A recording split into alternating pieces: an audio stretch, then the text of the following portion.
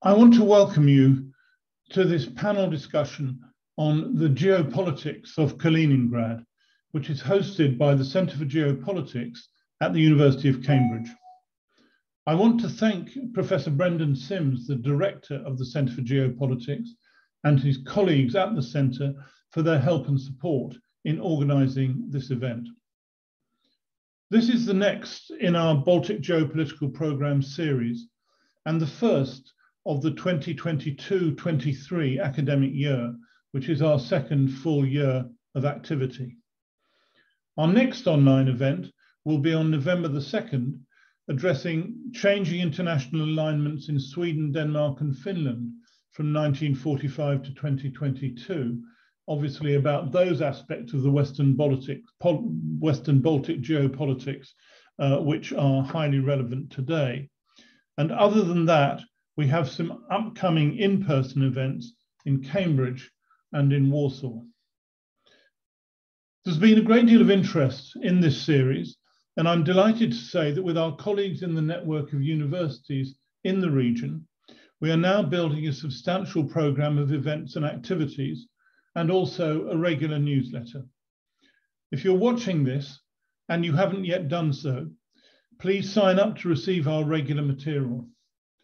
102 people have registered for this event. I don't expect as many as that to actually join, but I'm delighted at the level of interest. This is an online video panel. We will end at 18.30 UK time promptly. I will moderate a discussion with the panelists for the first half hour, and then in the second half of the discussion, I will relay questions from the audience to our panelists. You, as the audience, will be able to see and hear me and the panelists. You will have your microphone and camera switched off automatically so that at no time will you be heard or seen by anyone in the webinar. However, you are still able to communicate with me and the panelists. At the bottom of your screen, there is a Q&A, a question and answer option. And uh, uh, if you wish to type it, click on it, and when it opens, you have the chance to type questions. If you do type questions, please start by writing your name and your affiliation first. If your question is for a specific panelist, please state that at the outset as well. I will try, try to cover as many of your questions as possible, although in view of these numbers and time constraints, we might not be able to address everyone's questions. Finally, I also want to let you know that this video panel is being recorded and we will post the recording on our website over the next few days so people can watch at other times. As I said, the title of this event is The Geopolitics of Kaliningrad. The proposition is that the Baltic Sea region is now more geopolitically unified than it's ever been in its history. Kaliningrad, together with the Russian coast of the Gulf of Finland, are the only areas outside of the NATO alliance following the Swedish and Finnish decisions. As a result of recent Russian aggression, Kaliningrad has become central to the geopolitics of the Baltic Sea region. And in response to the accession of Sweden and Finland, Russia threatened to openly place nuclear missiles, which are probably already there, in the exclave. While Lithuania seemed to impose and then lift restrictions on Russian transit to Kaliningrad across its territory. The significance of the Suwalki Gap, the stretch of Polish-Lithuanian border between Kaliningrad and Belarus, that is the Baltic state's only land border to the rest of NATO, has risen with the Russian invasion of Ukraine, and of course with the worries about what appears to be happening at this very moment in Russia in response to those circumstances. This event is bringing together historians and policymakers to consider the longer history and wider context of the Kaliningrad exclave. What were the key considerations around the creation of the exclave in the aftermath of the Second World War? How did Kaliningrad change and shift after the collapse of the Soviet Union, and how has its role changed since?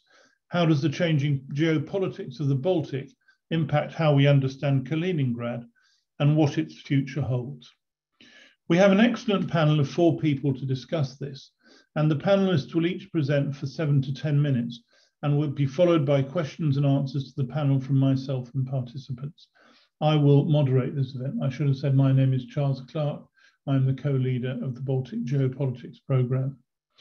Two of our panelists you can see in front of us, Kaarel Piirimäe and Professor Stefan Wolff, Professor Kaarel Piirimäe and Professor Stefan Wolff, and I'll enjoy them, introduce them all in a bit more detail in a moment. Our third uh, panelist is Raimundas Lopata, who is a member of the Lithuanian Parliament, and he is intending to join us, but he said that he was slightly hanging on events within the Lithuanian Parliament itself, whether he's in committee meetings or not. So I hope he will indeed join us, but there's a little uncertainty. And our fourth panel panelist is Sir Stuart Peach, the former chief of the Defence Staff and chairman of the Military Committee of NATO, to give us an insight on the military implications of this. Uh, however, he's texted this morning to say a former chief of the UK Defence Staff, the most senior military officer in the British uh, defences, he's been involved in the funeral of the Queen and the mourning period and has had to host many, many visitors uh, to London in these last two days.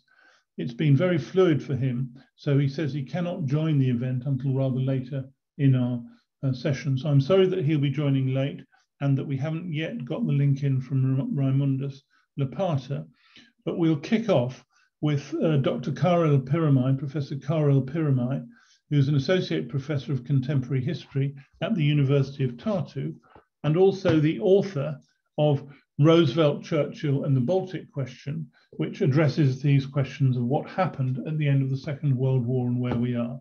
I'm going to ask him uh, to talk about the history of Königsberg, Kaliningrad, what happened in 1944-5-6. Königsberg, as you know, was previously the easternmost large city in Germany until World War II and the home of the philosopher Immanuel Kant. After the German defeat in the war, how did Kaliningrad get formed? What is it? What is it about? What did the great powers think about it? Kaarel, uh, we're very much looking forward to your discussion of what really happened at this time. Why is Kaliningrad what it is? Hello from me. Uh, thank you very much, Charles, for this uh, uh opportunity. Uh, I did write about the Baltic question. And of course, uh, Königsberg is, is, is related in, in as much as it, it um, concerns the change of borders and, and the, the creation of the Soviet sphere of influence after the Second World War.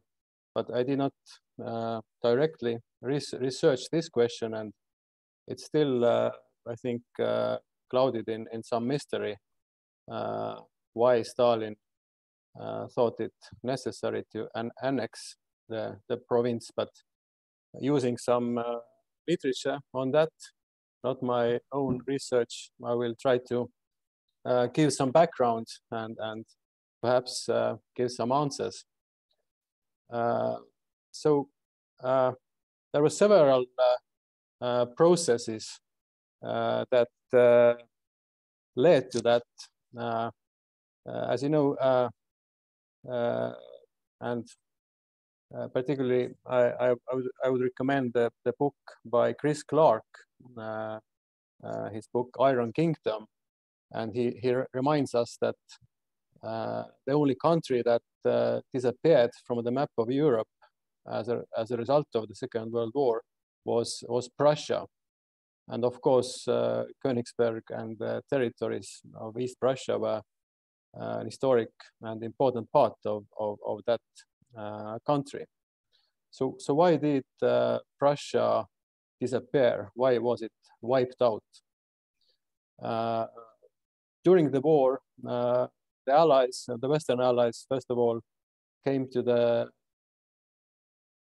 decision that uh, in order to wipe out German militarism, uh, Prussia has to be wiped out too. And, and of course, anti-Prussianism has a, had a long history uh, since uh, at least the First World War. Prussia had been uh, depicted as, as uh, partly modernized, but still essentially archaic and anachronistic uh, entity. And, and actually, uh, this anticipated and indeed inspired the Sonderweg thesis that became so dominant in German historical writing in the 1960s and, and 70s. And even many German uh, emigres in the 1930s began to regard Hitler as uh, the arch Prussian, uh, for quite forgetting that uh, Hitler's background as, as an Austrian. And so too the Allied leaders, for example, the British Foreign Secretary Anthony Eden said in December 39 that Hitler was just the latest expression of Prussian military domination. And Ernest Bevin, uh, the labor, labor leader, uh, said in uh, 41 that in order to get rid of German militarism, one had to uh, get rid of the terrible philosophy of Prussianism. Uh, and Churchill told the British Parliament in 43 that the core of Germany is Prussia. Uh, so this must be uh, wiped out. And, and the United States uh, took a similar view. President Roosevelt telling the Congress that the war-breeding gang of Prussian militarists must be rooted out along, alongside the Nazis. Uh, uh, Stalin and the Soviet Union had actually a more nuanced view of the matter. Moscow knew uh, about the differences between the Prussian aristocratic elites and Nazis.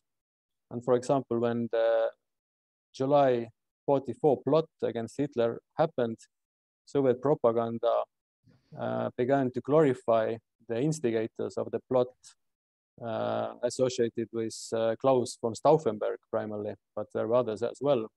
And of course, uh, Soviet pro propaganda could also uh, re refer back to the um, German-Prussian uh, uh, cooperation against Napoleon in, in early 19th century. So uh, Chris Clark suggests that Stalin hesitated about destroying Prussia completely, but I don't think there is much evidence about it. Already in uh, a Tehran conf conference in 43, Stalin asked uh, his allies for an ice-free port uh, on the Baltic Sea and saying that, you know, Königsberg and Memel uh, uh, could be used for that uh, and also insisted that uh, East Prussia was historic, historically uh, Slavic territory, which was not true, at, of course. there was no agreement at, at that stage, but Soviet Stalin actually started to solve the problem unilaterally. So there was a treaty between communist Poland and Soviet Union already in July 44, assigning uh, Königsberg and the uh, territories around it to the Soviet Union. In fact, to the yeah to the Soviet Union. Later, it was assigned to the Russian Federation, and Danzig and and territories uh, surrounding Danzig to Poland.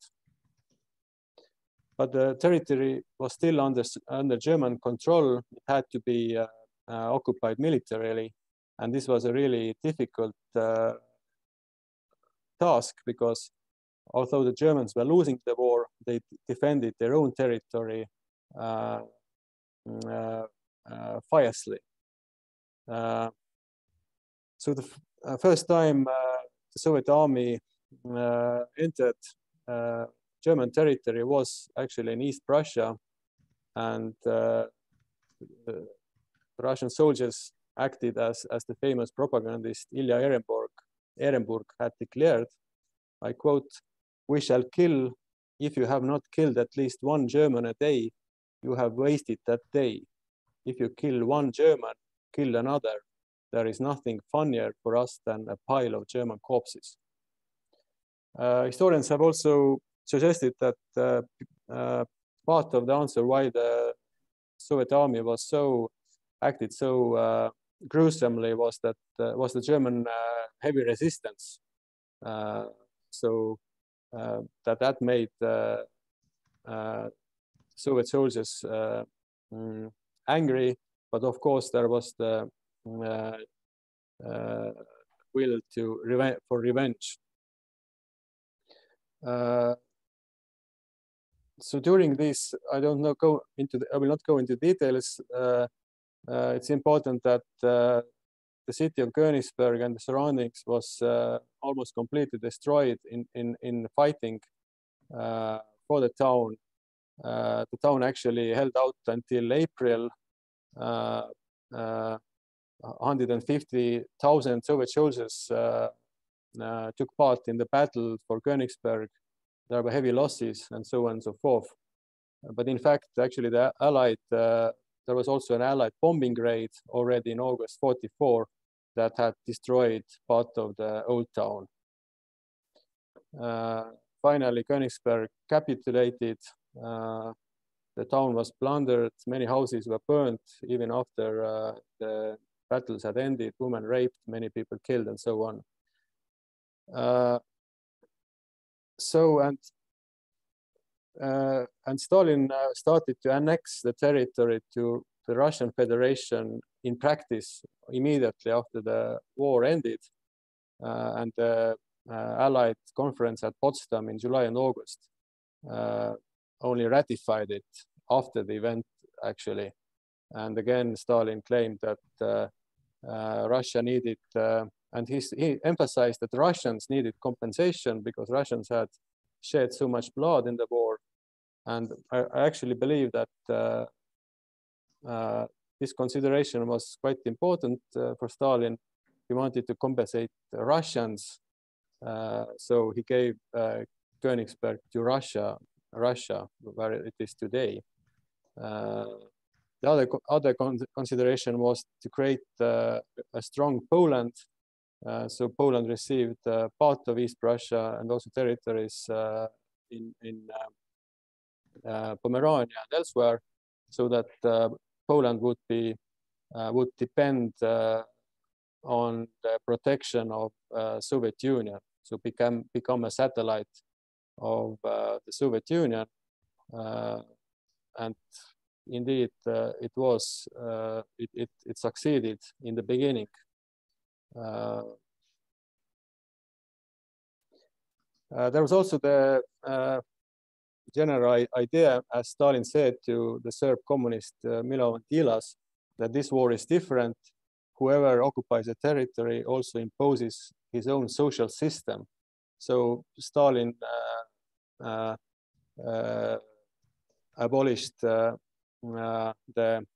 Junkers class that also the um, Western allies thought was the uh, root problem of uh, German militarism.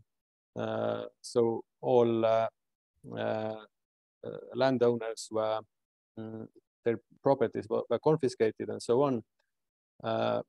and eventually, also all the Germans who remained there, there were 100,000 Germans still in, in Königsberg after the war, uh, they were deported uh, two years later. Uh, but again, historians think, suggests that this was initially not in the plans of Stalin. He probably wanted to uh, uh, uh, integrate into a new communist society, but eventually decided to deport them to, to East, East Germany. And the reason uh, may be that uh, there was a large influx of uh, mm, people from elsewhere from the Soviet Union. They expected to mm, raise their living standards. They thought this was a Western, this was almost Europe. But when they came there, they found out that the city had been destroyed. There was very little uh, mm, uh, living uh, few houses to, to live and so on.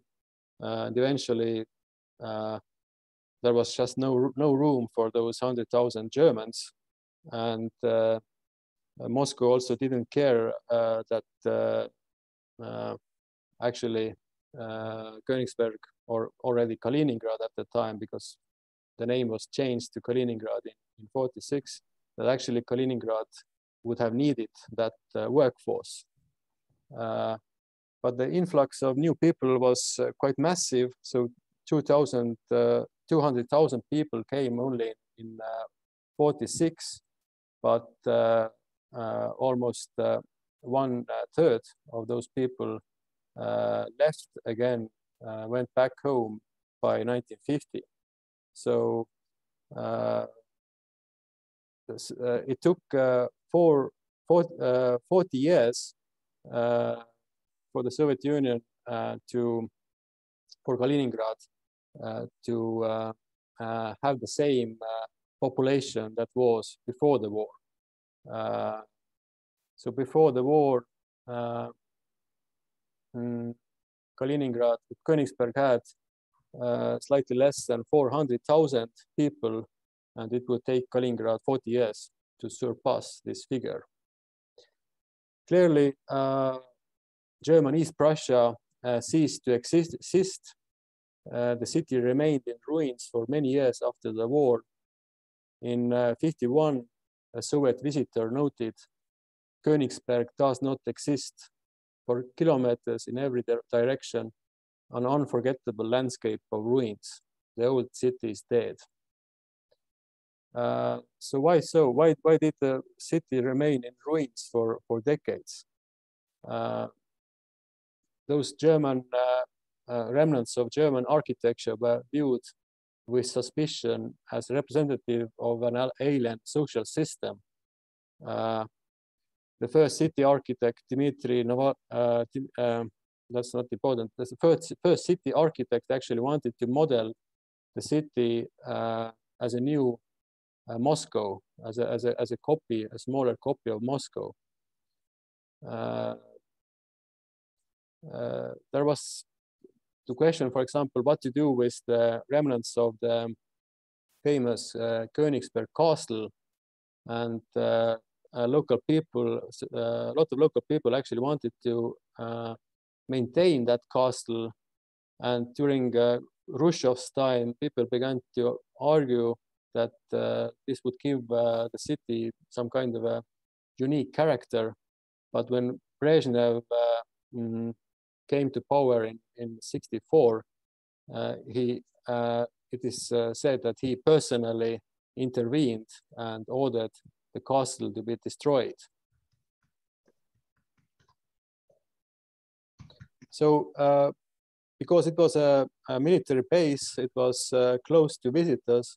So uh, in German uh, imagination, uh, it was like a like a German Atlantis. Uh, no one knew what was going on there. A few people had visited it. it was like a lost city on the Baltic, and it was open to visitors only in 1987. and uh, it, it, was of course interesting to to see what what uh, remnants of Germanness uh, was still there. today there is still the Königsberg Cathedral, which has been restored by the Russians, and even a, a Königsberg uh, synagogue. There is also a church uh, that is uh, 800 years old, a stock exchange, and seven former medieval city gates. Uh, the monument for Immanuel Kant was, was destroyed in 45, but uh, uh, restored in uh, 92 by the efforts of Mari, Mari, Mar, uh, Marion Dönhoff, who was native of Königsberg and later a famous West German publisher of the journal Die Zeit. So that's, uh, I would end here. Thanks. Kaarel, thank you so much. Uh, you've given a very both detailed and colourful explanation of how Kaliningrad has ended up where it is. Um, I'll leave it to further questions uh, in a moment and go straight to Professor Stefan Wolff, uh, Stefan is the Professor of International Security at the Department of Political Science and International Studies at the University of Birmingham. He's done a great deal of work academically in his past on the uh, politics and history of the eastern part of Germany and of Prussia. Stefan, you're going to talk mainly today about Kaliningrad's current geopolitical significance, the current situation, recent events with the EU and Lithuania and where it should go. And I'm very much looking forward to that. But if you had any comments to add to what Kaarel has said about how Kaliningrad has developed since 1945, and particular since 1991, including attitudes within Kaliningrad itself, if you had any observations on that to build on what Kaarel has said, we'd very much appreciate them. Those were the points that we were hoping to discuss with Raimundas, who's obviously got stuck in the Lithuanian parliament. So if you did have any comments on that, we'd very much welcome them. Uh, but as I say, the main uh, thing we'll welcome from your contribution is on the current geopolitical significance of Kaliningrad and recent events within the EU and Lithuania and where it would go. So Professor Stefan Wolff, we very much look, look forward to hearing what you have to say. Thank you very much, uh, Charles, and thank you very much to the Center of Geopolitics uh, for giving me a platform here um, to to talk about these issues. Uh, I I think I have to um, delay any comments uh, on what Carl has said and sort of the period between where he finished and where I'll start. Uh, maybe until the discussion, I just need to wrap my head around um, this a little bit more. I have some initial thoughts, but I'll, I'll, leave them for a little later. Um, so what, what you asked me to do um, uh, in my own uh presentation is uh, to reflect on how the changing geopolitics of the Baltic impacts uh, on how we understand uh, Kaliningrad uh, today. And I want to emphasize here the uh, today part uh, of that, um, because that also lets me a little bit off the hook, I think, in terms of um, having to offer you a similarly detailed and um, if I may say, magisterial presentation compared to the one that uh, Carl did, because, you know, talking about uh, the present, let alone the future, uh, is always um, much more prone to speculation um, and far less uh, grounded uh, in the detailed historical records that we um, can now examine. Uh, so let me share a few um, brief thoughts um, with you on where and how I see uh, the geopolitics of the Baltics uh, uh, today. Um, I think it's very clear that uh, Kaliningrad is for sure a leverage uh, point that um, Russia um, has, um, can use, and to some extent uh, has used primarily against Lithuania and Putin. But we should also not forget in this uh, broader context uh, of uh, the geopolitical setting in the in the Baltics um, that Putin, of course, also has um, a degree of leverage uh, with potentially pro-Russian um, ethnic Russian minorities in Estonia and Latvia. And I think it's really important here to um, clarify that not every ethnic Russian in these countries is pro-Russia. Um, so I th think that's a really important distinction to make because otherwise, um, I think we would very easily fall into a rather gloomy view of the future uh, of these two um, important NATO and EU uh, allies, given the sheer size of the um, uh, ethnic Russian uh, and Russian speaking communities, uh, uh, if you want, in these two uh, countries. so I think there is leverage there that Putin has. There's also leverage in Kaliningrad. Um, and of course, the other uh, important piece of the geopolitical uh, context uh, that you referred to um, in your introductory remarks, Charles, is the fact that we now have the potential, and I would still say quite likely uh, accession of Sweden and uh, Finland uh, to NATO. Uh, obviously, there's a little bit of uncertainty um, given uh, uh, the Turkish position on that.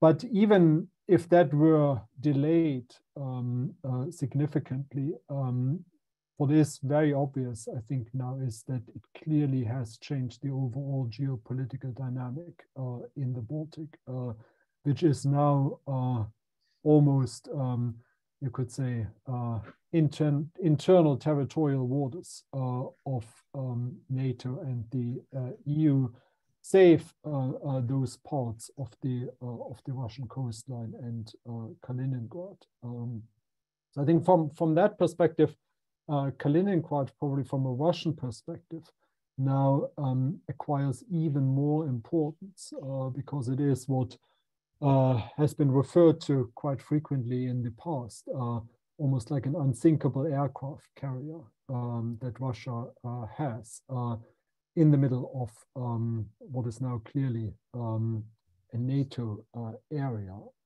to, to an extent. Um, and there's, of course, um, um, all kinds of risks uh, associated with that. And I'll, I'll, come back to that in a little um, while.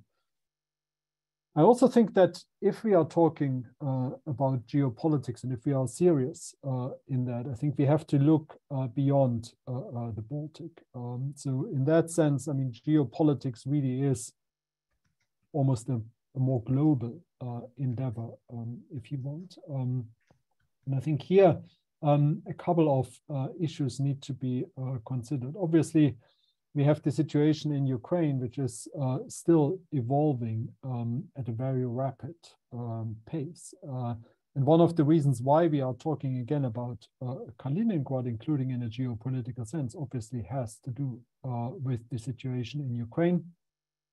It did so certainly for the past six months of uh, Putin's uh, adventure uh, there.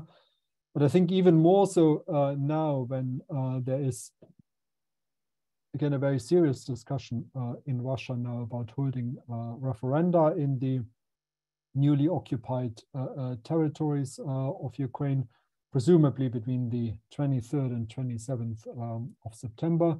Um, and a very clear indication uh, from uh, senior Russian sources, including uh, past President Medvedev, who is now deputy chairman of the um, Security Council of the Russian uh, Federation, that once these territories are part of Russia, um, any kind of attack on them would require a Russian response uh, along the lines of um, the self-defense uh, article in uh, the UN uh, Charter.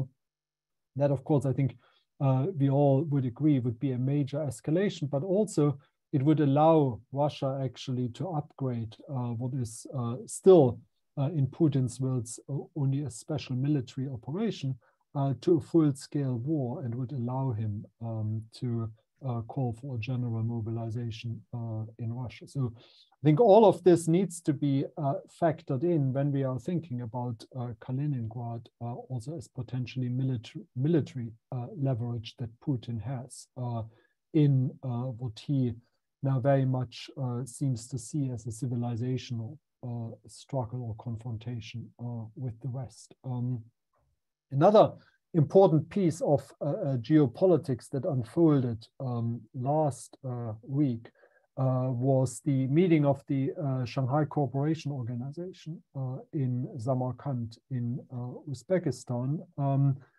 and arguably, even more significant from, from the point of the discussion that, that we have had here was um, a prior visit of President Xi to Kazakhstan the day before, Xi made it very clear that China uh, stood four square uh, behind uh, Kazakhstan's uh, territorial integrity and, and sovereignty. Um, and this is again important uh, from the perspective that there had been some saber rattling uh, in Russia over the summer, especially after the Kazakh president um, at the St. Petersburg Economic Forum said that there was no way that Kazakhstan would recognize the independence, um, as Russia had done, uh, of the self-declared uh, republics um, in uh, Ukraine, uh, Donetsk and Lugansk People's Republics, uh, so-called. Um, so now Xi um, very strongly uh, signal, signaling to Russia that China um, would arguably not tolerate um, a use of uh, heavily populated uh, Russian territories uh, in northern Kazakhstan for any plans that um, the Kremlin might have to restore some mini Soviet Union. I think that's very important uh, uh, for Kazakhstan and for Central Asia, but it's also important in what Xi did not say. Uh, so he did not make any similar statements uh, uh, in relation uh, to Ukraine.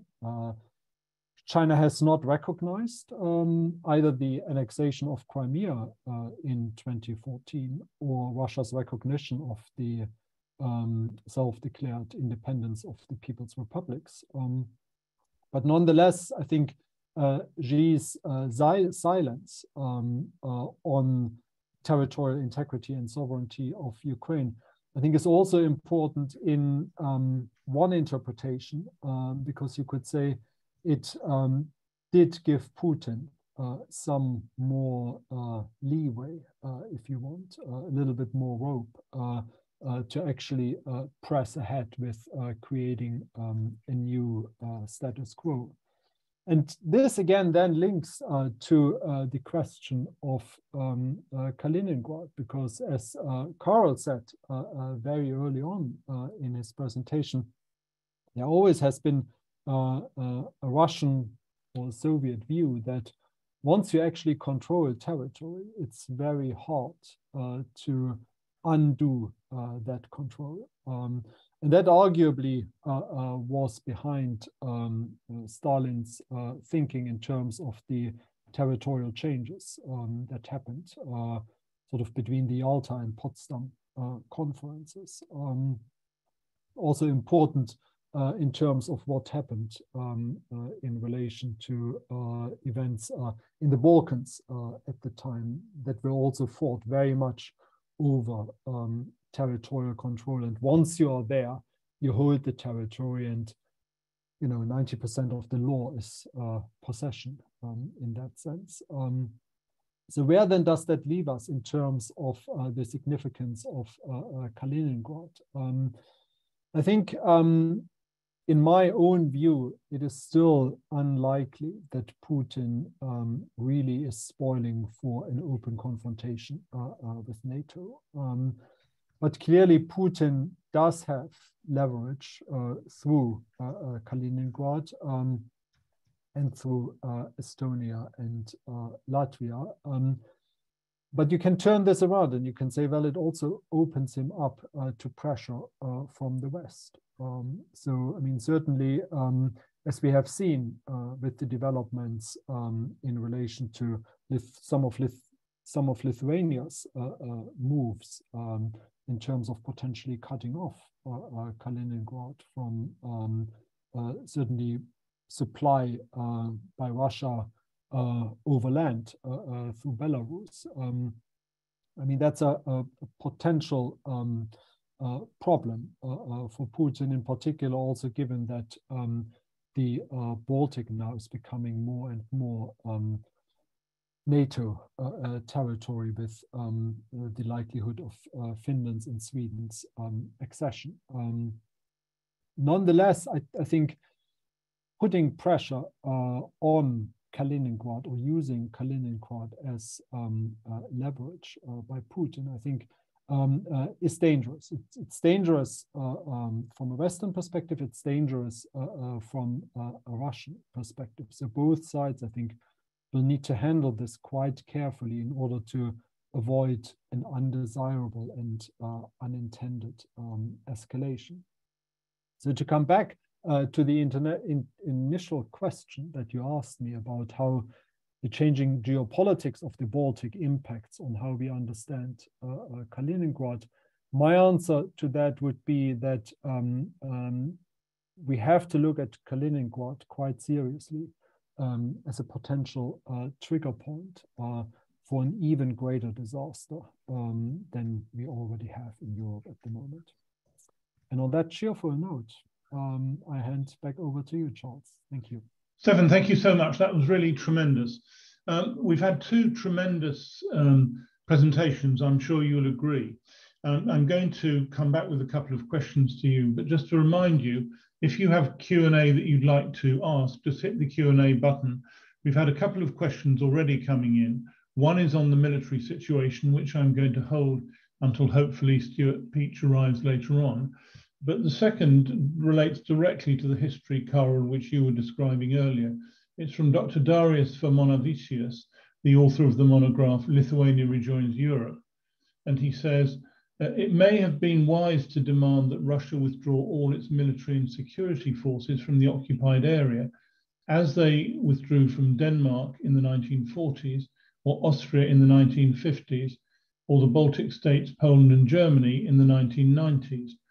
Why was the West, in your opinion, Kaarel, unable or unwilling to demand Russia withdraw from East Prussia uh, after the war at that point? Why is it that the, the West didn't press for that solution, a kind of demilitarized zone or neutral type zone or buffer state type question, rather than being part of the Soviet Union uh, and Russia?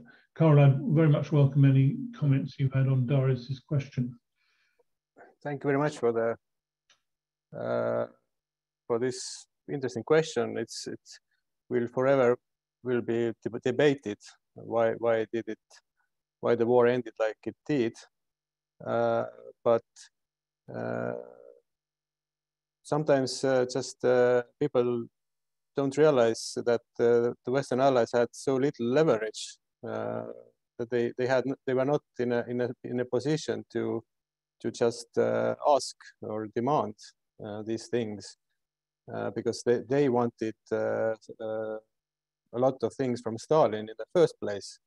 The, most of the fighting against Germany was in fact done by by the Russian, uh, the, not Russian only, but Soviet soldiers, Ukrainians. We don't, we don't, we must not uh, forget Ukrainians and other uh, nationalities in the Soviet Union. But the fact was that most of the fighting uh, was done by the Red Army, Soviet Army. And uh, Stalin, by the way, actually kept his promises.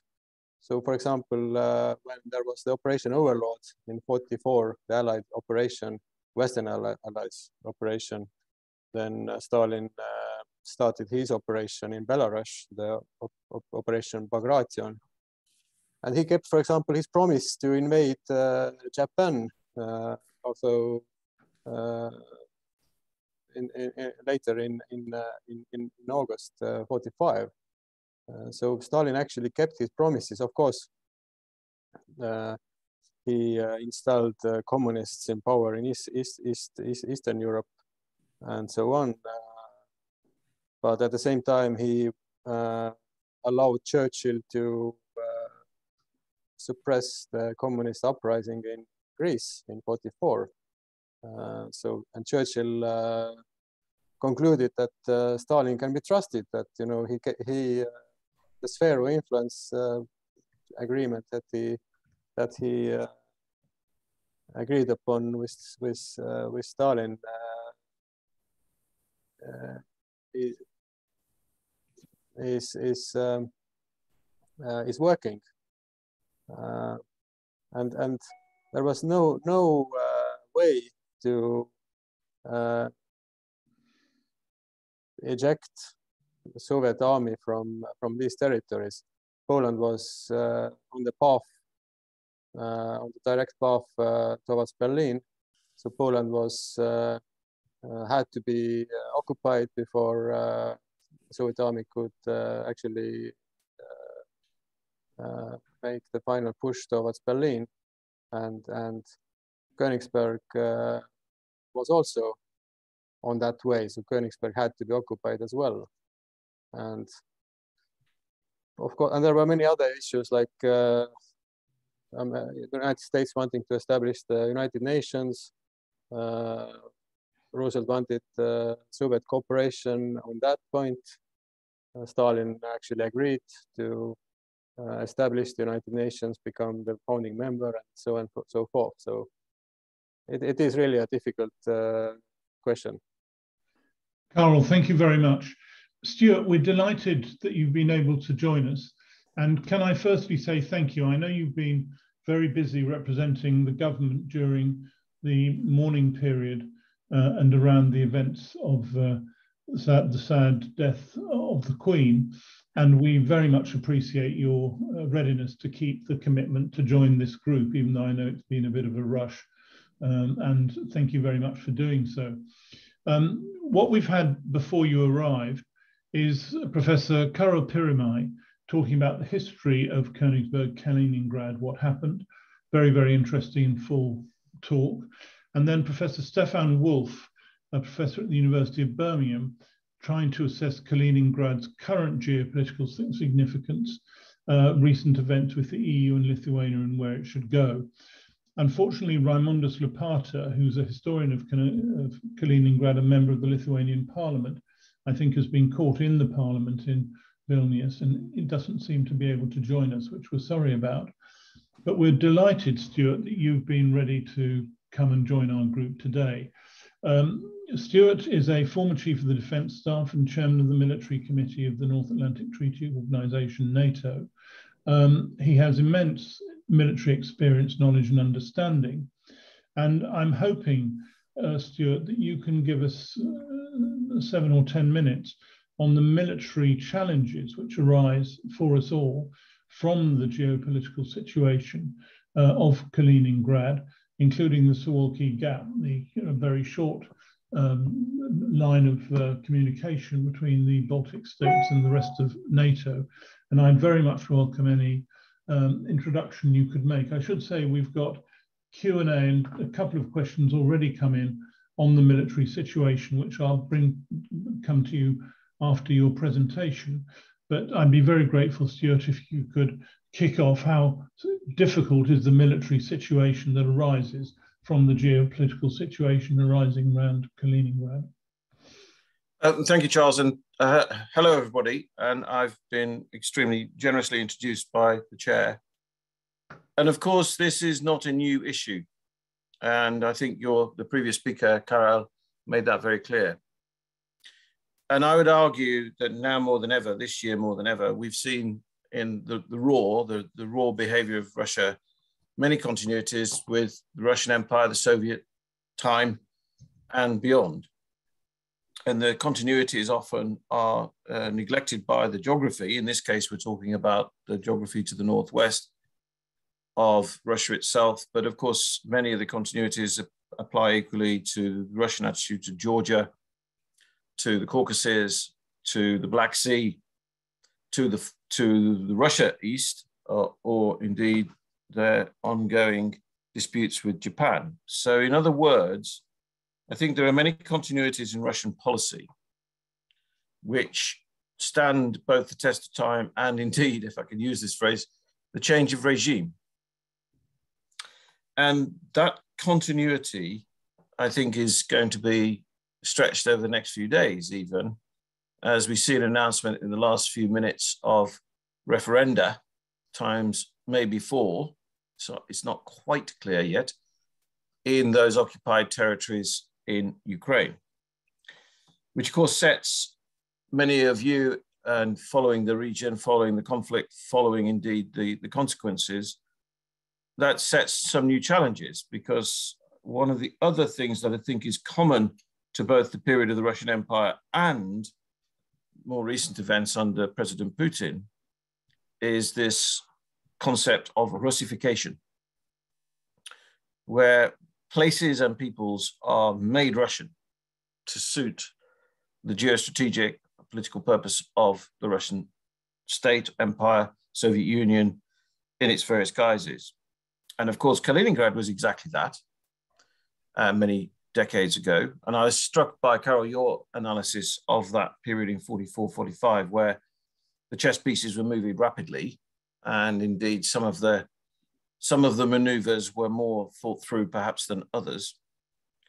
And then I'm also struck as I get older and listen to my friends in your region and beyond, how many consequences there were of both world wars in terms of the whole scale movement of peoples. And of course, one of the second thoughts is that that whole scale movement of peoples leaves minorities of various types, various ethnic groups stranded. And that then gives future opportunities for either Russian meddling or Russian uh, bad behavior. And one of the phrases I I will just use, and uh, I'm very happy to be shot down by professional academics, which I'm not, is that Russia is a peaceful country surrounded by ceasefires. And this sense of creating a periphery with op options for future developments, with options for possibly technology, possibly maritime adventures. And I would add in this strategic context, noting that the, the center is about geopolitics, that a very similar approach to Russian basing in Syria. And I think the Tsars would have been entirely comfortable with Putin's attempt to create a naval base and an air base in Syria for the medium and long term, thereby gaining that sort of access to warm water. Similarly, in Kaliningrad, you see that Baltic approach. And yet, despite the history, despite the Russification, despite the continuity in Russian behavior, I would argue that Russia is continuing to fail to meet its strategic objectives that it set itself. And furthermore, and much more important to an audience like this, many of us for many years have wondered and indeed worried perhaps, but wondered about the true competence and consequence of the Russian military machine. And I think that's now a very significant issue for debate. Of course, truth is the first casualty of war, and finding out exactly what's going on in the Russian armed forces, I think now is quite a devil of a, uh, of a job. But nonetheless, this has not gone well. And therefore, we have to think about the geostrategic consequences for that, whether it's the sort of equipment that lies already in Kaliningrad, or whether it's the sort of readiness that that equipment and those people have. And, uh, and then a third factor in all forms of warfare. Uh, a British historian called John Keegan, who I knew very well, famously said, An army without discipline is a crowd. And I think the morale factors and the unit level morale issues and tactical issues in the, the Russian army are now a significant issue to be studied and reflected upon. So I don't think there's much new in Russian behavior, threats, and style. But I do think we're entering a dangerous time and phase. And so all my time in NATO, and I'm a friend of the region. I've been to all the countries. I'm not allowed, obviously, as the military head of NATO, to visit Kaliningrad, but I've been everywhere else in the region. And I continue to encourage defense investment. I continue to encourage forces that interoperate. And one of the great strengths of the North Atlantic Treaty Organization is its convening authority to bring countries together and for their armed forces to interoperate. And I think the enhanced forward presence that I've championed actually for seven years uh, since the Crimean occupation is a good testament to that. But we need to go further. We need to go quicker.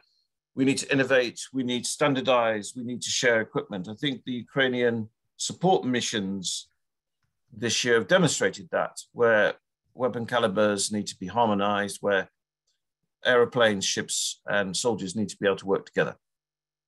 Obvious points, but needed now more than ever. And then, of course, the second issue for NATO is precisely the opposite of what the Russians may have intended. If I make the strategic assumption that Finland and Sweden will join NATO, then that gives a very different set of geographic opportunity and consequence to all of you in your region. And I think we should grab that. Um, the UK is proud to lead the Joint Expeditionary Force. Sweden and Finland are members. And through that process, we've already enhanced the interoperability of UK forces with Sweden and Finland over the last few years, along with other Joint Expedition Force members. And I think NATO is a further example to that. And of course, Finland and Sweden have very distinct and important capabilities and I, I don't know how many academics want you to argue with me, but I'm pretty sure that um, Putin did not attempt, President Putin did not attempt in February 24th this year to have Finland and Sweden joining NATO as a consequence of that special military operation or illegal war, as I prefer to call it. So I think these are challenging times. We need to stick together with our allies and friends, whether they're through good organizations like the Joint Expeditionary Force, treaty-based organizations with form and substance, such as the North Atlantic Treaty Organization, and anybody, anybody, whichever nationality they, ha- they hold, that now thinks in Europe that Europe is stronger without NATO, I don't think that conversation needs to be to, to be had for very long. And so strategic autonomy now, to me personally, not because I'm British, but because I, have um, served in NATO. Uh, by the way, I've served in NATO seven times uh, since the 1970s. Strategic autonomy for me means making NATO more interoperable, more ready, more willing, and able to take political military decisions, military strategic decisions, and then execute them through a plan and an operation. And that is the strength of the alliance. And the last quote I'd offer you, and it's not a particularly academic one, is General Eisenhower on the formation of NATO remarked at one of the very first meetings, the plan is nothing, planning is everything. So in groups like this, whether they're informal, beyond the boundaries of the discussions on Kaliningrad, the Baltic, planning is everything. And we need to work together now more than ever. Thank you. And I'm very happy to join the debate. I haven't talked that much about Kaliningrad. Many of you will be aware there's a lot of equipment there. Um, how ready it is, how serviceable it is, how available it is, those are questions that others can probably comment better than me. Thank you. That's really excellent. Thank you very, very much indeed. It's exactly what we were hoping as a uh, an insight into that situation. Now, we've had a number of people, uh, participants raising questions, interesting questions. I'm going to take a couple, first of all, which relate directly to what you've been saying, partly what you've just been saying, Stuart, but also the others as well. I'm going to read out the two questions, then ask the three of you, starting with Stefan, to respond.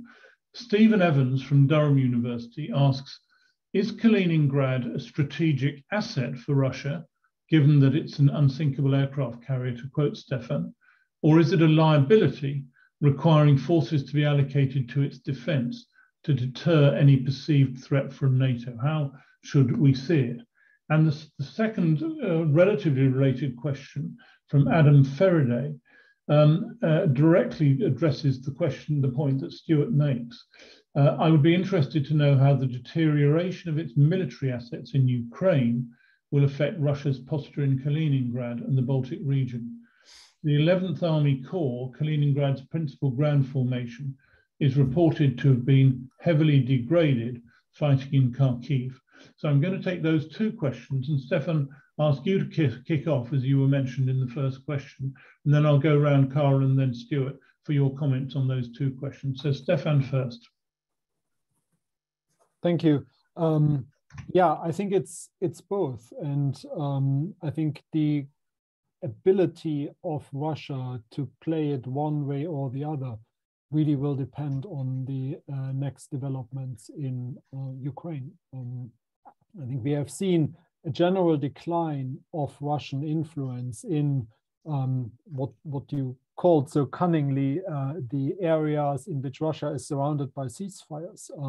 Over the um, even past two weeks. Um, I mean, there has been an escalation in uh, in the South Caucasus, um, where Azerbaijan now had absolutely no qualms uh, to move into areas that should have been protected uh, by Russian uh, peacekeepers. Uh, we have seen that Russia has had absolutely no um, ability to do much about the um, serious escalation in uh, in the border area between Kyrgyzstan and uh, uh, Tajikistan. Um, so I really think that um, the question of Kaliningrad as a liability is is a very real one. Whether I would necessarily probe too deeply into that and see um, what um, Russia may or may not be doing in response. I think that's a that's a different uh, question. So I think it's one more headache uh, for Putin that he probably doesn't uh, doesn't need. but by the same token, he is not prone necessarily, at least from my perspective, to either restraint or rational decision making. So um, he may very well do something that um, uh, could have rather disastrous uh, uh, consequences if it isn't um, played right uh, on our end. Thank you. Kaarel, do you have any comment on these two questions? Well, yeah, of course. When I uh, I will be talking about military matters, then um, maybe uh, Sir Peach will will correct me if I if I uh, I'm wrong. But but I can I, I can comment from the uh, Estonian point of view and what the Estonian military has has commented publicly. So so uh, uh, for example the uh, elite uh, 66, uh, 76 airborne division has also been destroyed in Ukraine in the, in the very first days of the fighting. And, and that, that's a, a, big relief for, for, for the Estonians. so, and it takes definitely takes uh, several years to to recover from from that disaster uh, for Russia. But uh, I, I, think, uh, as far as I can see, Estonian military is, is, is, is not counting on that, but actually is upgrading our defense systems pretty heavily. For example, we are now buying mm, air defense systems so that we can uh, actually bring down uh, Russian aircraft and, and, and even rockets because we have been very concerned about uh, rockets coming, especially from Kaliningrad, and um, and the Kaliningrad uh, ha has been a major problem for us uh, strategically because uh, it, it uh, Russians can uh, cover the the Baltic Sea, so the sea lines over the Baltic are, are, are threatened from Kaliningrad, and and there is has also been the talk about the Suwałki gap, uh, so that uh, the, the, fear is that Russia can actually close this uh, land strip connecting us to Europe. But then again, uh, military analysts have pointed out that it's, it's actually really difficult to close that uh, Suwałki gap uh, um, with a, through a militarily. It, it, it, it needs, it would be a major operation so uh, the so-called unsinkable aircraft uh, carrier uh, can actually become a problem for, for Russia. It can be encircled. Not that it, so mm, but perhaps uh, Sir Peach will talk after me, so maybe he, he can correct us, correct me.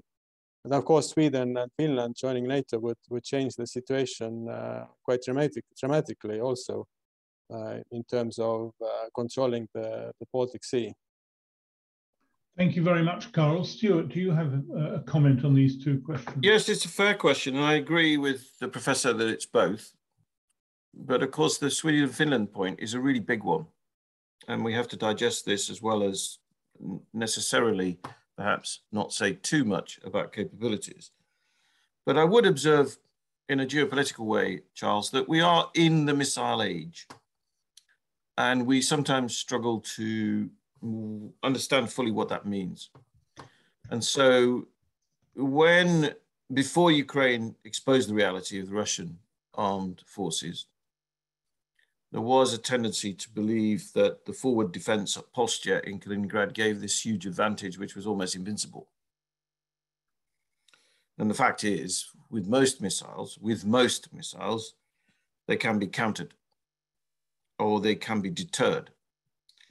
And so one of the things I think we ought to be doing now in both the strategic setting in NATO and beyond, and in these sort of groups such as yours, Charles, is thinking about deterrence in a wider way. And I think the year has made that clear. Whether it's energy security and all the consequences that's bringing to Europe, or whether it's food security and the consequences that's bringing to Africa. And I think some of those consequences will play out this week at the General Assembly in New York. But specifically on military things and specifically on Kaliningrad, to stick to the question, The missiles need to be understood, so you need good intelligence. And then you need to develop counters, so you need good technology. And those counters may not be the obvious ones because they may embrace tactics and techniques that are not just as obvious as shooting them down. And so it's a really important time for militaries, whether they're in the region we're uh, here represented or beyond, to use the innovative strategy that NATO has adopted at the summit this year and develop new capabilities quickly to reflect the missile age we're in so that we can actually counter both through deterrence and if necessary defend ourselves. Thank you. Thank you. Um, the next question i'm going to take was actually the first that was asked from carl islam who describes himself as a barrister and mediator um, and he, he asked the question what is the strategic importance and relationship between one, NATO defending the Suwałki corridor, and two, Ukraine recapturing territory on its border with Belarus and Russia? Is there any, are these two strategic objectives joined at the hip? In a sense, that's been answered already by people who've, all three of you have commented on the relationship between what Ukraine is doing, what's happening in Kaliningrad and the Baltic. But is there anything any of the three of you would like to add in response to Carl Islam's question? Stuart? Uh, yes, I was just trying to find the raise hand button. I, I think um, to be a little bit old fashioned, the, the key distinction to the good question is Article 5. NATO territory is, is understood by Russia to be what it is, whereas, of course, Ukraine is not a member of NATO. And Article 5 is and has been since 1949 the serious discriminator between the North Atlantic Treaty Organization and all other forms of military coalitions, alliances, and friendships. And I therefore think that makes the difference. And my view, and I am the age I am, uh, and I'm happy to be wrong most of the time, but on, on this subject, I think the Russians understand Article 5. And so, and of course, as, uh, some, as, the, as, the, as the professor said, the, the Suwałki Gap territories is, is in any way difficult to take. Which leads me to a final comment is I've been struck this year um, throughout the period since 24th February of how little proper debate there's been about the maritime dimension, whether it's the Black Sea, the Baltic Sea, the Mediterranean Sea, and all the other seas, because actually the maritime dimension in most major wars and most major conflicts in history have been, has been really, really important. And I think perhaps for think tanks and professors and others that, that this needs more attention uh, because the media inevitably, rightly, because of the tragedy in Ukraine, has been focused on the land war. But that's more of an aside. Thank you. Thank you very much indeed. Um, following the symposium we had last March, uh, we've got a book uh, coming out on the symposium about the Baltic area, and we have got a, a, chapter in that specifically on the maritime dimension of security in the Baltic Sea, which is very interesting. Uh, or uh, Stefan, would you like to add anything to what Stuart said on this area? No, okay, so we'll go to the other question. We've still got two or three questions coming down the line, but to ask more if you want. Donatus Kupsiunas, our very own Donatus from our centre, says, how do you see Lithuania's attempt to use the opportunity of Russo-Ukrainian war to get rid of transit between Kaliningrad and mainland Russia through Lithuanian territory? This was a big dramatic issue on the BBC and elsewhere um, a couple of months ago. And there's been a lot of discussion about was Lithuania simply enforcing the EU's decision, decision on sanctions on Russia, or was it trying to do more, or whatever? Stefan, could you kick us off in answering this question about the Lithuania-Kaliningrad relationship and the um, the uh, way in which that's been handled and how it relates to the EU sanctions against Russia on Ukraine? Well, um, let me preface that by saying that I'm an academic uh, with um, very little exposure to the real world. Uh, so I leave my office occasionally, but I cannot claim any deep insights uh, into what policymakers, um, be it in Lithuania, be it uh, anywhere else in, in Europe or in Russia for that matter, were actually thinking uh, on this. It's probably not the way in which I would have handled uh, that. Um, by the same token, I also think that a lot of the reporting in the media, as I understood it, was not entirely accurate. Um, so it wasn't, as far as I know, a complete blockade um, of um, all traffic. Uh, there were questions raised in terms of what was actually being sent from Russia uh, uh, to um, uh, uh, to Kaliningrad and the extent to which that may or may not compromise um, EU uh, sanctions, which I think at the time we were in the fourth or the fifth uh, sanctions package. So, I mean, these things have also changed over time. Um, yeah, I, I think I, I, I leave it at that. It's um, it's yeah, I I didn't think it was particularly helpful at the time. Um, but on the other hand, I mean, it does send signals um, well, east and west, north and south, uh, uh, if you want. Um, and sometimes this kind of signaling signaling is also important in terms of what may or may not happen um, if um, or what may and may not be possible uh, uh even um, if there was more serious escalation. Thank you. Kaarel, would you like to comment on this particular situation? Mm, I'm afraid I'm an academic with even even less uh, uh, relationship to, to reality than, than Steph, Stefan. Uh, well, just to note that uh, Lithuania established quite friendly relations with, with Russia in, in, in early 90s based on the understanding that there was a transit through Lithuania and the Soviet uh, troops left Lithuania earlier than, than Latvia and Estonia based on that understanding and Lithuania also doesn't have a, a, a, a, large Russian minority, so relations were better than with Latvia and Estonia. And I, I, I don't think, and also that Kaliningrad has almost million people, so you, you cannot blockade the region or, or just uh, think uh, that uh, um, you can somehow um, take it over from Russia or something. This this would be a completely wishful thinking. It it, it uh, uh, yeah, but that's a, that's only a, a, a, like a like a side note.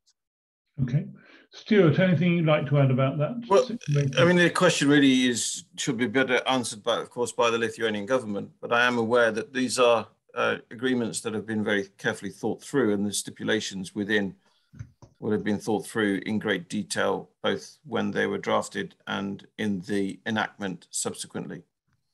And of course, the sanctions regimes and packages have changed over the last few months as well. So it's quite a fast moving situation. But nonetheless, I think that the, the points that both the professors have made are really powerful because it's about signaling, it's about understanding the law based framework, however loosely that is defined by international law, and in my long military experience of almost 50 years, there is always a law-based framework around somewhere, whether it's at sea, in the air, or on the ground through treaties and custom, customary practice. And all of that needs to be well understood by senior commanders, and it is generally. So it is a, a more of a legal question of interpretation. Of course, then there's a whole culture point, which is wrapped in the, the original question, which is about the the legalistic nature of certain regimes. And so I think that is a, a, that's a fair challenge for a group such as yours, Charles, to, to wonder whether that now needs to be thought through and reset because for many years it's been a sort of well-known trope in Europe that Russia tends to read the text of these treaties very carefully and, and, and know the detail and I wonder now whether, with what we've seen in Crimea, what we've seen with the illegal war in Ukraine, whether that's now valid and whether we need to do some more um, thinking on this in your format and others. I think it is a very good question. but the, the specific detail is obviously for the Lithuanian government to comment on. Thank you very much. Um, further question on a dimension from a different dimension, China. Uh, you said, Stefan, in your earlier presentation, uh, you talked about the Shanghai Cooperation Organization meetings last week um, and the Xi's visit to Kazakhstan. The question is from Adam Svensson. Do you think there is greater Russian interest in its western areas, including Kaliningrad, particularly if the argument is made that China is also increasingly looking westwards with its Belt and Road initiatives and any westward expansion in terms of Chinese spread of influence and people. I'll go first to you on this, Stefan, as you mentioned the Shanghai Cooperation Organization meeting your presentation, and then I'll ask Kaarel and Stuart if there's anything they'd like to add. So, Stefan, uh, what do you think about this? I think that warrants an entire uh, uh, additional uh, uh, seminar on your part, uh, Charles. Um, I mean, the way I read the situation at the moment is that, um, I mean, Russia is clearly now at best a junior partner uh, to um, China and one that um, China does not necessarily always see as particularly reliable or fun to have um, as a junior partner. Um, that has partly to do with the fact that, I mean, the war in Ukraine and all the Western sanctions against Russia um, they do have an impact on the Chinese economy, but they also have an impact on uh, the Belt and Road Initiative um, and transport routes through Central Asia and Russia and then Belarus and including also into Kaliningrad, they simply don't work anymore. Um, so um, that that has been a real problem uh, uh, for China. Um, does that push Russia to look more west? Well, I think the fact that China is now clearly the either already predominant or definitely emerging predominant power in Central Asia, um, I think would suggest something like that. Is China doing the pushing here, or is Putin choosing to, you know, realize whatever imperial dreams he has now more um, to the west of Russia than, than to the east. There, I would say, I, I cannot necessarily see much of an advantage for China in prolonging um, the well, basically global instability that that has followed from um, the Ukrainian war. Um, so, I mean, I'm not a China optimist um, necessarily, but I also am not a hardline China skeptic. So I do still think that China overall prefers stability. So I think in that sense, Putin, I think, will increasingly find himself um, isolated and not loved even by those who he might have uh, a degree of uh, ideological affinity with. Thank you. Stuart, what's your comment on the impact of China's behavior on Russia uh, in this sign overall? I think the professor's analysis was very, um, very important actually, and I agree with him. So firstly, the terms of trade have changed and all the deals, whether they're known or unknown, and we don't know a lot of the details of some of them, are often on China's terms. Whereas I think this um, One Belt, One Road initiative is becoming one debt, one road.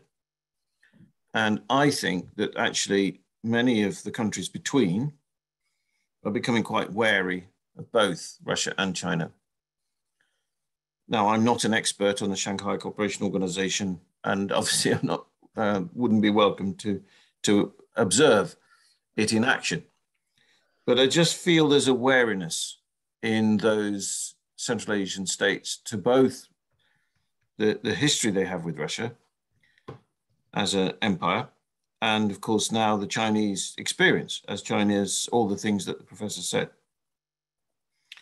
And the other observation I make from a military perspective is the modernization of the People's Liberation Army is quite remarkable when you're an analyst looking at the raw data of the number of ships, aeroplanes, tanks, soldiers, etc.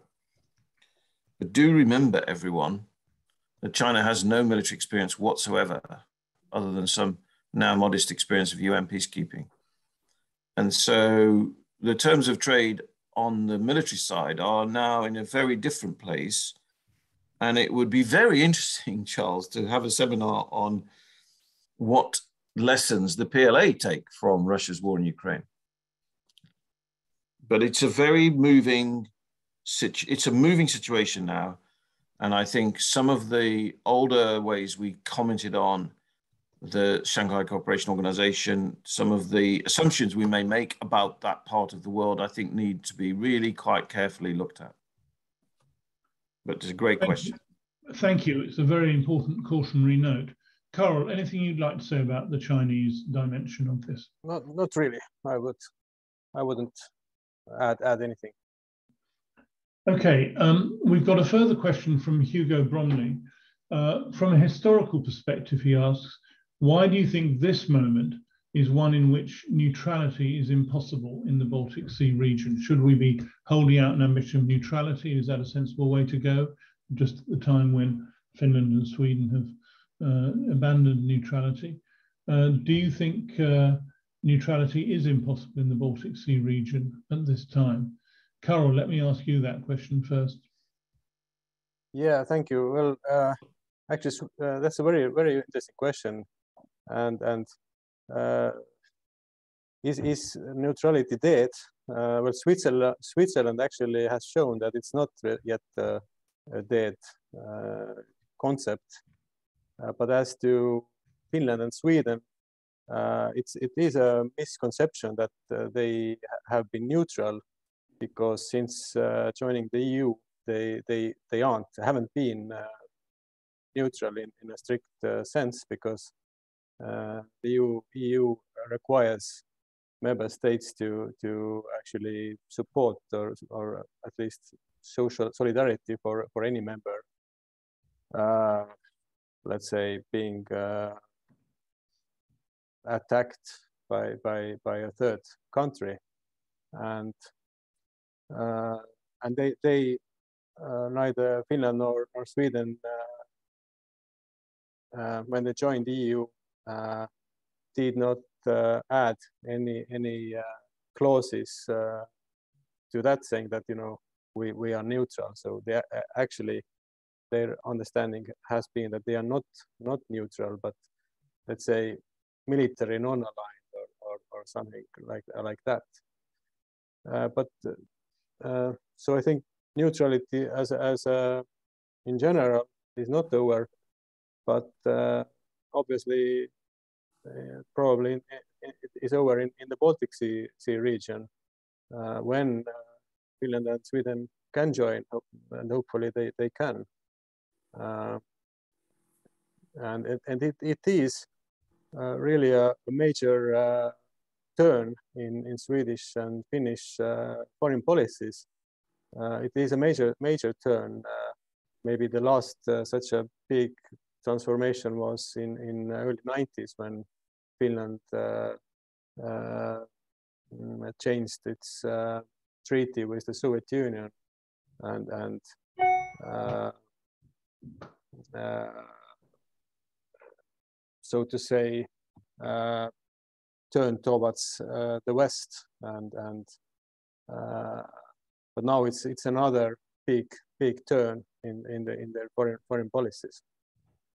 Thank you, Kaarel. How do you see the question of neutrality now, Stefan? How do you what do you think it uh, it is? Do you think it exists? Well, I think you can't really be neutral and safe if you have a border with Russia. Um, I think it's okay for Switzerland uh, to be neutral. Um, I think it's okay for Austria uh, to be neutral.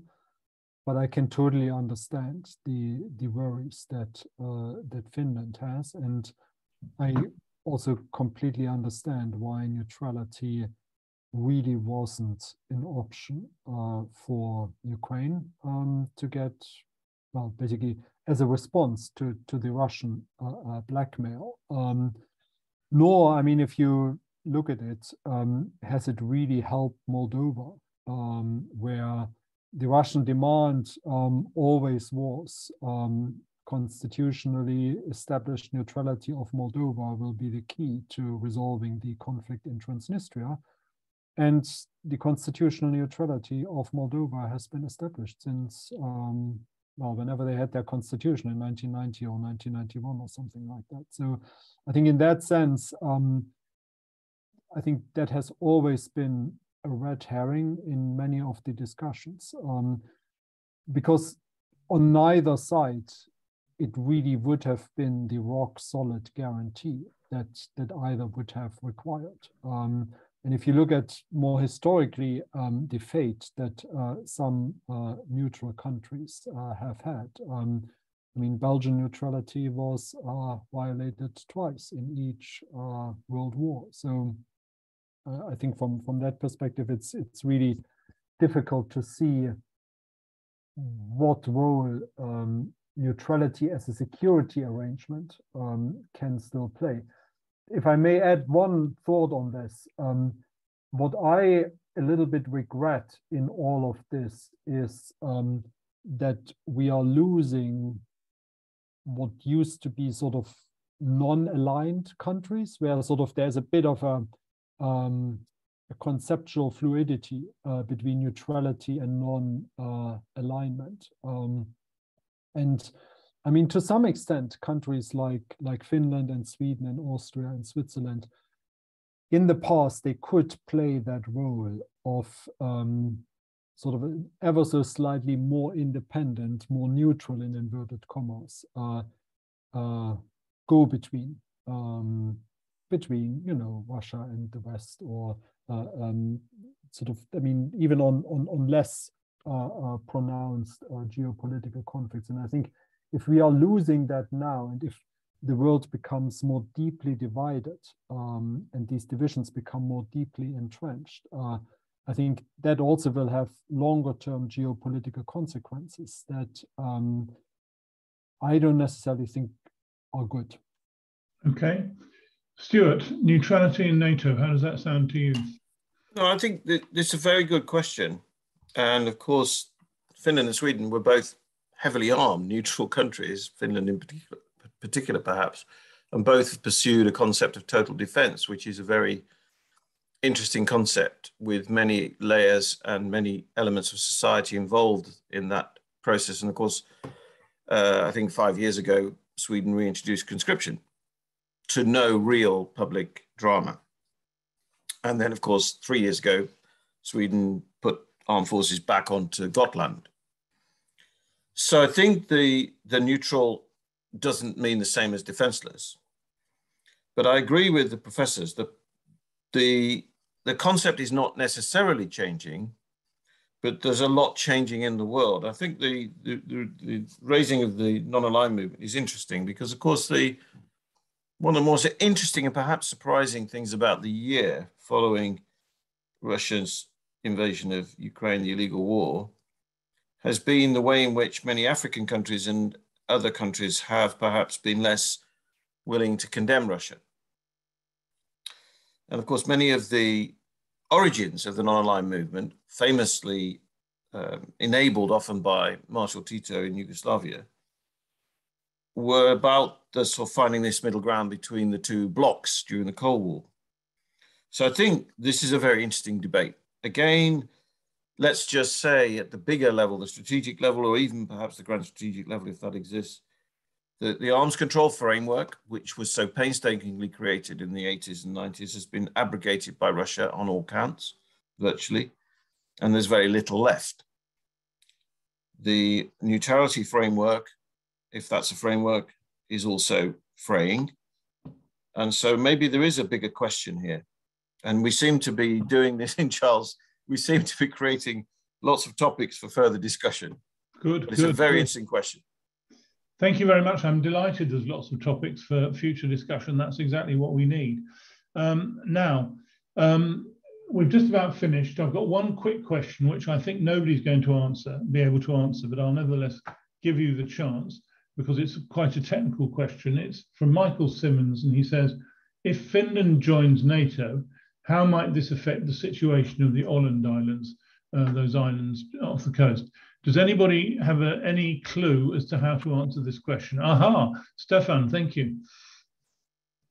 I have an answer to it, whether it is necessarily the answer or a correct answer. I think that's different. Um, um, I don't think it should affect uh, uh, the status of the Åland Islands because that goes back to a League of Nations uh, settlement in 1921, uh, in which um, uh, the uh, demilitarization of the Åland Islands was agreed.